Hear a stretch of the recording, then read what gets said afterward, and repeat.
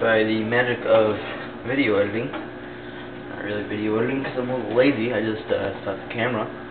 So here's our finished product. It's perfect, a little loppy, but it's alright. I'm not perfectionist. Sprinkle some warm powder on it. Gonna wait, and this is my uh, finished blueberry pancake that I didn't make on this video because it's a little weird. Um, yeah, as you can see, it's blueberries, all the good stuff. Yep, bacon. I don't know if you could see the bacon, but it's right there. Um, waiting for that to cook. Okay, it's cooked. Yeah. Looks like it has like AIDS or something.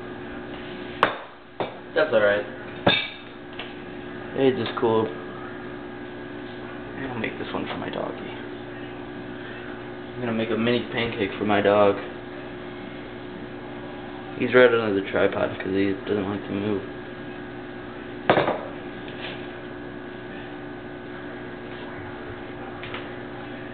Yeah, so you have just been cooking with Little. Peace out, y'all.